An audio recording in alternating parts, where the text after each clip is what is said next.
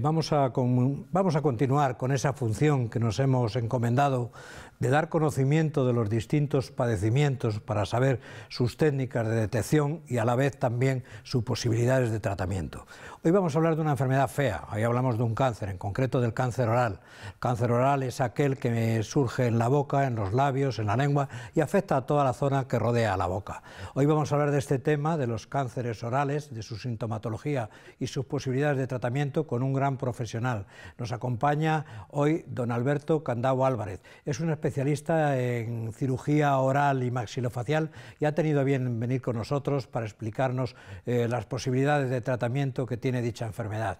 Como siempre, yo selecciono para ustedes unas determinadas noticias que traduzco y resumo para su conocimiento y para saber qué se realiza en otros países de distintas técnicas médicas. Empezamos.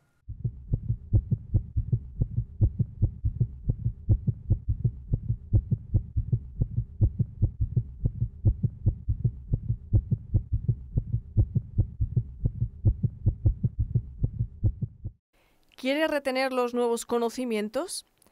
Se debe hacer ejercicio unas cuatro horas posteriores tras la lección, según un trabajo realizado en el Instituto Donders del Cerebro, la Cognición y la Conducta en Holanda, en el que participaron 72 personas que aprendieron una serie de asociaciones de ubicación de imágenes. Divididos en tres grupos, primero se realizó un ejercicio inmediatamente tras el aprendizaje el segundo después del aprendizaje a las cuatro horas y el tercero sin ejercicio.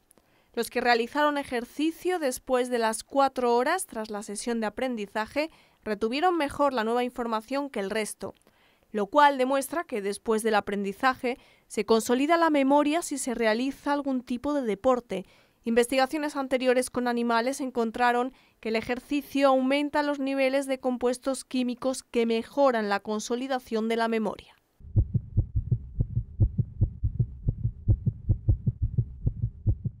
Las tortugas como mascotas siguen propagando la salmonela. Las autoridades sanitarias de Estados Unidos encontraron que las tortugas pequeñas ilegales provocaron 15 brotes de salmonela en la última década. La mitad de esos casos fueron en niños menores de 10 años. Besar tortugas, dejar que anden sobre la mesa y las encimeras de las cocinas cuando se está cocinando, así como limpiar los hábitats de las tortugas en los fregaderos, pueden ser la causa, según los investigadores de los Centros para el Control y la Prevención de Enfermedades de Estados Unidos, aunque estas están prohibidas desde el año 1975. Las tortugas menores de 10 centímetros siguen siendo mascotas populares en Estados Unidos. Antes de esta prohibición, cada año 280.000 personas enfermaban de salmonelosis vinculada con las tortugas. En los hogares con niños mayores o donde las personas deciden tener reptiles, es necesario lavarse las manos tras el manejo de las tortugas, sus hábitats o cualquier sitio por el que deambulen.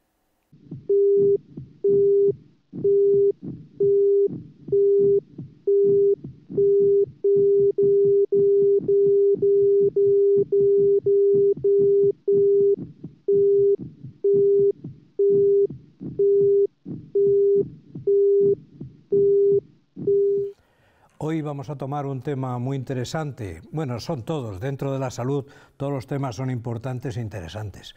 Pero hoy en concreto vamos a hablar de un tema que tiene su trascendencia. Cuando hablamos de esas tumoraciones, de eso tan feo, con ese pronóstico tan feo que llamamos cáncer, pues siempre nos sobrecoge un poquito el corazón y el miedo a determinados eh, padecimientos que nos lleven a un mal final. Hoy vamos a hablar de un conocido determinado tumor eh, tumoraciones, que son lo que se denominan los cánceres orales. Los cánceres orales son aquellos que afectan a la boca y a todos los órganos próximos a pues puede afectar a los labios, eh, a la lengua, al al velo paladar, a todas las estructuras que se encuentran cercanos a ello. Es una dolencia relativamente frecuente y que puede tener buena solución médica. Hoy vamos a hablar de este tema tan interesante, el cáncer oral, con un gran profesional que ha tenido a bien desplazarse aquí a hablar conmigo para darme una lección magistral realmente como él lo hace de este tema. Vamos a hablar hoy con don Alberto Candau Álvarez. Es especialista en cirugía oral y maxilofacial, asimismo es el miembro directivo de la Sociedad Española de Cirugía plástica facial. Con él vamos a hablar de este tema tan interesante, el cáncer oral. Eh, don Alberto, ¿me permite usted que le tutee? Por supuesto. Pues muchísimas gracias, Alberto. Yo agradezco que me dejes, si me lo permites. Primero tengo que agradecerte porque entre paisanos creo que tenemos que tener buena... Claro que sí. buen feeling. ¿eh? Es paisano mío, ¿eh? somos los dos de Córdoba, y te agradezco muchísimo este viaje que has hecho para hablarnos de este tema, porque creo que es muy interesante que demos documentación sobre ello. Muchas gracias. Eh, ¿En qué consiste eso que determinamos cáncer oral? Bueno, el cáncer oral realmente, tal como lo has definido, no es una única enfermedad, sino que se trataría de todos los tumores que pueden aparecer en todos los territorios de la cavidad oral. Como bien acabas de comentar, pues el labio, la lengua, la encía, en la zona tanto la que soporta los dientes como la que serían los carrillos, la lengua, la garganta, incluyendo pues la amígdala, el velo del paladar, etcétera causa más frecuente de este carcinoma, el tipo de carcinoma más frecuente es el carcinoma epidermoide, aunque hay otros muchos tipos de carcinoma, pero casi siempre cuando nosotros nos referimos a cáncer oral nos estamos refiriendo a este que es el más frecuente, el carcinoma epidermoide. ese tipo de cánceres es lo mismo que se tienen en la piel por determinadas radiaciones solares, corresponde a la misma estirpe o no? Dentro de que se trataría de un carcinoma epidermoide y los que aparecen en la piel por su propio nombre serían carcinomas epidermoides, pero no tienen las mismas implicaciones ni tienen los mismos factores de riesgo que los que aparecen en la piel. O sea, en resumen, afecta a todas las estructuras próximas a la boca. Correcto. Eh, ¿Cuál puede ser realmente, siempre cabe la duda de que puede ser el, que inicia la tumoración, cuáles pueden ser las causas a que aparezcan este tipo de tumoraciones? Como en casi todos los tumores, existen algunos factores de riesgo que están muy bien estudiados y en el caso del cáncer oral, por ejemplo, el tabaco es actualmente uno de los principales factores de riesgo.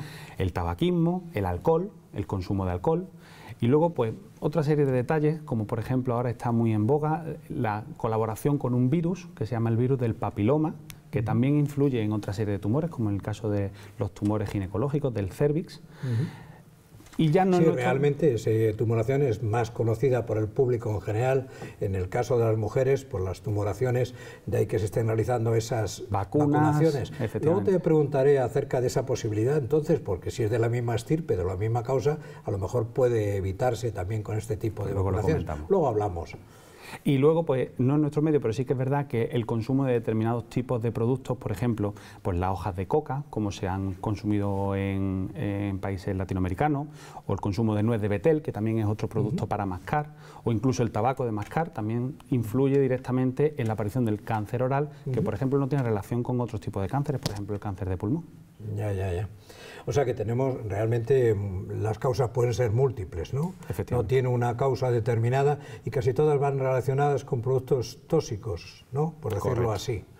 Eh, eh, ¿Qué síntomas eh, presenta el paciente que le haga sospechar que puede tener un padecimiento de estas características? ¿Cuáles son, ¿Cuáles son los síntomas más frecuentes? Yo cuando hablo con mis pacientes siempre digo que gracias a Dios el, el cáncer oral es un cáncer muy noble, porque a diferencia de otros tipos de tumores que hay necesaria una serie de pruebas invasivas o sofisticadas, el cáncer aparece como una llaga o como una úlcera que aparece en la boca y que no se quita y perfectamente cualquier persona sería prácticamente capaz de poder reconocérsela simplemente mirándose al espejo con una linterna. Entonces, el principal, el principal método que nosotros tenemos para ver que efectivamente ha, eh, aparecido una lesión es simplemente mirando. La vista. La vista, la vista, eh, tan sencillo como eso. Yo siempre digo que una buena exploración, una buena exploración clínica suple a todos los tipos de estudios que pueda realizar. Aquello que se hablaba que era el ojo clínico, ¿eh? Entonces, yo siempre defenderé esa postura por parte del profesional, pero estamos en la época de la demanda de las pruebas técnicas que nos confirmen el posible diagnóstico y en este punto pues, creo que hasta podemos llegar a perjudicar. Entonces, mm, principalmente el diagnóstico es, eh, como dices, eh, por la inspección ocular. ¿no? Con la inspección nosotros vamos a sospecharlo El médico que trate este tipo de, lesiones, que pueden ser médicos de atención primaria, los dentistas, que aparecen tanto en atención primaria como en los de las consultas particulares, y ya en un segundo plano los cirujanos masilofaciales, y otras especialidades, como pueden ser el caso de otorrino o otras especialidades que traten con la vía aérea superior, pues es verdad que podemos verlo simplemente. Pero con eso podemos sospecharlo. Ojo, nadie es capaz de poder diagnosticar un cáncer exclusivamente con la vista. Sí, pero realmente a los telespectadores lo que le interesan es la sospecha. Claro, la Porque el primer síntoma, el primer signo que puede llevarles a sospechar. Y son esas manchas, esos cambios de coloración, ¿no? De determinadas mucosas, ¿no? Que has comentado antes. Exactamente. Entonces, con esa sospecha, ¿cuál es la herramienta diagnóstica que tenemos? Fundamentalmente la biopsia. Es decir, un procedimiento, la biopsia es un pequeño procedimiento que se hace con anestesia local, con la misma anestesia que se utilizaría, por ejemplo, en una consulta de un dentista, donde nosotros tomamos una muestrecita de ese tejido y lo estudiamos al microscopio y vemos la naturaleza que tiene. ¿De acuerdo? Entonces, eso es un procedimiento relativamente sencillo que se puede hacer perfectamente de forma ambulatoria y que nos va a sacar de dudas en aquellos pacientes donde verdaderamente las tengamos. Entonces, principalmente sería la biopsia. ¿Hay alguna otra prueba técnica, si no existen complicaciones? Porque, lógicamente, esta tumoración puede dar en su evolución invasión a otros órganos, que ese es el riesgo de todas las tumoraciones eh, cancerígenas en este caso. Correcto. Entonces, eh, ¿qué otras pruebas podríamos solicitar? Mm, me refiero, porque el paciente siempre... Mm, queda como que a ver si voy a tener algo más y no se me mira. Por eso es tú como técnico y conocedor de estas distintas técnicas para que sea de tu boca. Que es muy frecuente. Realmente cuando una persona tiene la sospecha, eh, se le procede de forma prácticamente inmediata, en el mismo momento se le hace la biopsia. La confirmación de esa biopsia va a tardar muy poquito. En el momento en el que ya se sabe o en el momento en el que, bueno, pues verdaderamente, mm, si los medios nos lo permiten, pues podemos plantearlo, las pruebas de, que se llaman estadificación, es decir, para ver exactamente de qué se trata y hasta dónde alcanza. Fundamentalmente es el TAC y en algunos casos específicos la resonancia. Eso lo que nos va a permitir exactamente, para que la gente lo entienda, es saber dónde está y hasta dónde llega. O sea, realmente la trascendencia del proceso y para tomar una, una reparación, como digo yo, condigna. A pecado infinito, reparación infinita. Eh, ¿Existe alguna población de riesgo que esté más expuesta a este tipo de tumoraciones? Efectivamente, cuando nosotros hemos comentado que las personas que pueden tener más riesgo son aquellas que fuman o aquellas que beben y sobre todo un consumo durante mucho tiempo, en especial el caso del tabaco, pues vemos que, por ejemplo, las personas que pueden tener por encima de los 60 años, entre los 55 y los 60 años en adelante, y en especial si han eh, sido fumadores, pues tienen un riesgo muy por encima de la población normal, prácticamente de cinco veces por encima de la población normal. Entonces, en estas personas que tienen un riesgo especial, todas las campañas van encaminadas a que al menos una vez al año se le realice una exploración oral, tal como le hemos explicado, simplemente mirando y comprobando que no existan ni lesiones ni una cosa muy importante que son las lesiones premalignas, es decir, unas, unas manchas que podemos apreciar en la cavidad oral que sin ser cáncer tenemos un riesgo incluso mayor de que puedan producirse. Claro, eh, lógicamente tú estás hablando de los se llaman las leucoplasias, esos, los cambios de, de, consistencia, las manchas. Esto hay que aclararlo mucho al, al, telespectador porque lógicamente hay mucha gente que a lo mejor por determinadas carencias de vitaminas y demás pueden tener algún tipo también de afectaciones dentro de la boca. Pues el hecho de ver esos cambios pueden pensar que pues una metaplasia tisular del tejido en concreto y no es así. ¿no? Y no necesariamente. ¿Qué características son las manchas que hacen sospechar? Para que el público eh, la pueda más o menos ubicar, vemos que hay dos tipos de manchas. Las que se llaman las manchas blancas, que se llaman leucoplasia, y las manchas rojas, que se llaman eritroplasias. Las blancas se ven como manchas homogéneas, que en algunos casos pueden estar alteradas por algún tipo de sangrado o de ulceración. En general, en un porcentaje altísimo, esas manchas no van a ser cáncer. Y aquí cabría muchísimos diagnósticos diferenciales. Por ejemplo, las propias infecciones por cándida, que son un hongo que infecta a, la cavidad oral cuando una persona está baja de defensa, pues pueden simular este tipo de leucoplasia. En ningún caso lo que queremos es, por supuesto, que el público se alarme, pero sí que es verdad que hasta cierto punto ese diagnóstico de, ¿Qué porcentaje pequeño van a ser leucoplasia, digamos, de las malas? ¿Y cuál es el gran porcentaje de esas leucoplasias que pueden ser enfermedades benignas o que no tienen un potencial carcinogénico tan grande, un potencial de dar problemas tan grande? Pues entonces eso es lo que deberíamos es dar la posibilidad de que puedan consultarlo con, con el especialista que le pueda asesorar en ese tema. Esas son las manchas blancas, pero las manchas rojas es todo lo contrario. Prácticamente casi todas las manchas rojas van a ser malas. Esa mancha roja, esa eritroplasia, en muchísimos casos sí que se tratan de algo que sí que debería ser para poder al menos solicitar con el médico de atención primaria o con el facultativo, con el médico que tengan de, referencia, poder consultar para poder ser analizadas al menos por un profesional. Bueno, aquí afortunadamente tenemos un sistema público de salud que esas coberturas las tenemos prácticamente con el médico de familia totalmente resueltas. Y entonces, desde tu punto de vista, ¿crees que toda mancha que aparezca debe de ser consultada para determinar, determinar su beneficio o perjuicio? Eh, desde el punto de vista de salud. Decíamos que la, predisposición que te preguntaba antes eran personas mayores de 65 años, ¿no? 60, 60, 65 años. ¿Y existe algún protocolo en concreto que se tenga que realizar o se encargue la misma administración de solicitar esos estudios a determinadas edades, como por ejemplo en el cáncer de colon, en el caso de la mama en la mujer?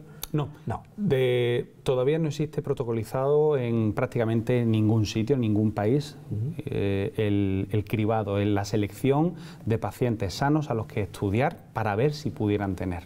No, no se ha demostrado que tenga utilidad. Pero sí que es verdad que en esas personas una simple visita, como cualquier ciudadano de a pie debería de al menos una vez al año a su odontólogo. al dentista, ¿eh? Claro, exactamente. Al oftalmólogo. Justo cuando uno va al dentista, eso ya puede ser una consulta para que ese dentista, por ejemplo los dentistas de atención primaria, puedan estudiarle, pueden simplemente verlo. Alberto, lo que tiene que hacer uno es caerse. Efectivamente. tú te quieres, tú te vas y dices, oye, esto me lo tengo que hacer mirar, esto me lo tengo que hacer mirar, que no hace falta que nadie te avise. Tiene usted que ir porque son las 12 y 15. Efectivamente. Eh, que nos queramos y procuremos mirar cualquier duda que tengamos en ese punto. Muy bien. Y un mensaje que es muy importante es que no ya solamente lo que son las manchas por el color, sino las úlceras. Es decir, cuando uno se ve una pupa, una llaga en la boca que está durante más de tres semanas y no se quita, esa llaga deberíamos estudiarla deberíamos, por supuesto, consultar con nuestro, con nuestro médico de atención Hablamos de una, de una ulceración, de porque lo que todo el mundo conoce son las aftas, los virus, el herpes, en este caso. Eh, eso es, yo creo que en general todo el mundo lo conoce y sabe, pero puede ser un motivo de preocupación, porque esas dolencias suelen ser largas, ¿no? Suelen ser muy frecuentes que las personas puedan tener síntomas durante mucho tiempo. Por eso hemos establecido el límite en torno a las tres semanas. ¿Por qué? Porque la inmensa mayoría de las aftas, de los virus, de las infecciones, del me he pegado un mordisco y me ha salido una llaga, de todo ese tipo de problemas, por lo general tienen un pronóstico muy bueno y se curan relativamente rápido. Pueden ser muy molestas, pero no suelen tardar más de 20, 25 días en quitarse. Por eso, en ese sentido, cuando nosotros vemos una lesión que perdura por encima de las 3, 4 semanas y no se va a mejor, entonces, esas serían las que nosotros deberíamos prestarle un especial interés. Claro, porque el tratamiento es distinto y las consecuencias también son distintas. O sea que hay que salir de dudas sin ninguna duda. Que, no te quepa ninguna, que, digas esto es así y esto va por aquí y así se me va a resolver. Eh, actualmente tenemos, ¿qué tipo de tratamientos tenemos? Porque todos sabemos que en el caso de las tumoraciones, pues eh, como mejor se desaparecen es quitándolas del sitio. Lógicamente todo el mundo piensa que la cirugía es el tratamiento total y absoluto, pero existen otras series de posibilidades de tratamiento ante este tipo de dolencias. Efectivamente. Pónganlas en orden a ver qué para orientarnos. Lo que a nosotros nos va a determinar qué tipo de tratamiento hacemos va a ser, a grosso modo, el tamaño que tenga la lesión. Cuando nosotros hablamos de tumores pequeños, porque se diagnostican afortunadamente pronto, en ese tipo de, casos existen protocolos donde podemos evitar la cirugía haciendo un tratamiento combinado tanto con quimioterapia como con radioterapia, teniendo prácticamente los mismos resultados en cuanto a supervivencia y en cuanto a posibilidades de curarse. Eso se llaman, pues como no operamos y digamos quitamos el órgano, pues se llaman protocolos de conservación de órgano. Eso nosotros lo que hacemos es precisamente para evitar, cuando tenemos por ejemplo alguna lesión en la lengua, pues para intentar evitar que se pueda tener que quitar la lengua. O cuando existe, por ejemplo, en la garganta, con las mismas características. Sin embargo, cuando el tumor es ciertamente más grande y cuando además invade ganglios, por ejemplo, y se disemina, pues entonces el mejor tratamiento que se le puede ofrecer al paciente, por supuesto, es la resección, es quitarlo, quitarlo. ¿Cómo se quita? Pues prácticamente, pues como dicen, ¿no? Pues se quita por lo sano. ¿Eso qué significa? Se quita no solamente lo que vemos, sino quitamos un margen en torno a donde nosotros vemos que termina el tumor para poder intentar evitar que pueda haber células que estén colonizando los bordes de esa resección. Pero vamos más allá todavía. Como nosotros sabemos que la tendencia de esta enfermedad es a, diseminarse y a esparcirse, los cirujanos hacemos una técnica que consiste en que los ganglios del cuello y los ganglios y los vasos linfáticos son las autopistas por donde esas células pueden migrar hacia el resto del cuerpo. Y ir a otro sitio y perjudicar. Efectivamente, que es lo que nosotros llamamos en medicina metástasis, cuando un tumor se sale de su sitio y se va a otro. ¿Qué hacemos? Cortamos esa carretera. Evitamos y hacemos un cortafuego, quitando y limpiando todos los ganglios y los tejidos linfáticos de la zona del cuello. Entonces, de esa manera conseguimos el control no solamente de la enfermedad en el sitio, sino el control regional, el control de, las posibles diseminaciones. Exactamente. Y entonces, y dentro, combinar, estás diciendo también la quimio y la... ¿Cuándo optáis, por qué intensidad, por qué optáis completar más el tratamiento?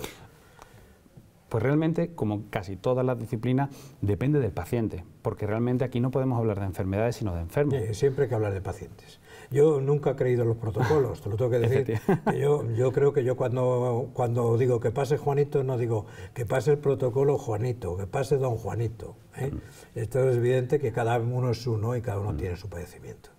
Hombre, por lo general, en tumores de, de, pequeños, de un tamaño pequeño, y en zonas como por ejemplo puede ser la garganta, por lo general se, se procura siempre preservar el órgano, sobre todo en pacientes jóvenes donde el dejarlo sin habla pues supone un, gran problema. En tumores mayores, donde nosotros creemos que con la cirugía pueden quitarse por completo, sin ninguna duda, ahí vamos a optar siempre por la cirugía.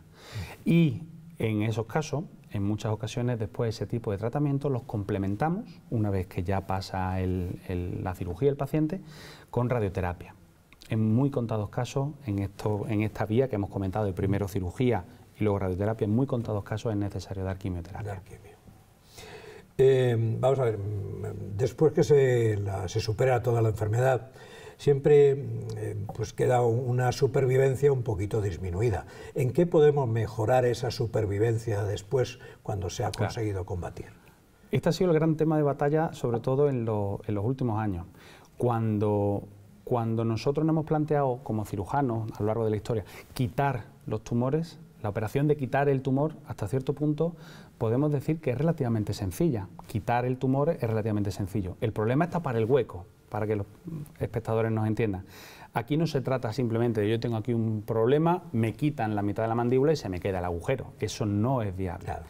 Entonces, pues, precisamente porque sabemos que muchos de estos tumores, si se cogen a tiempo, tienen un pronóstico incluso hasta de curación a muy largo plazo. Sí, sí, como en la mama. Por ejemplo.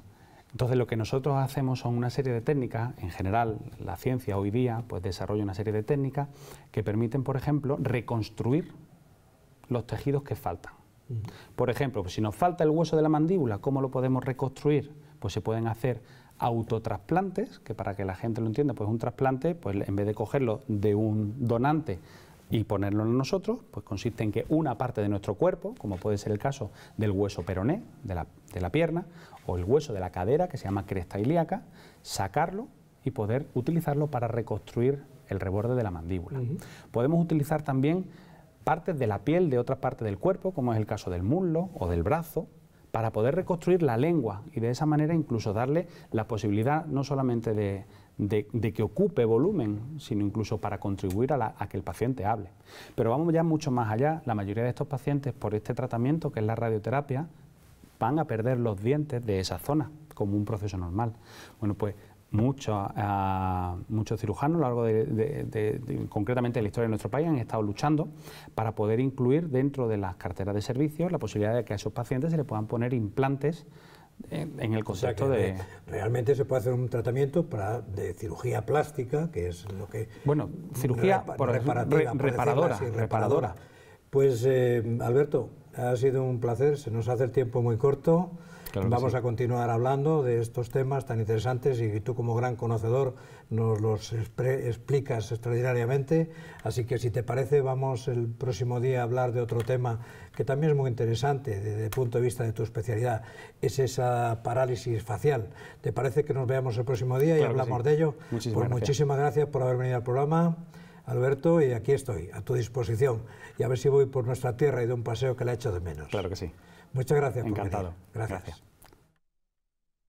gracias.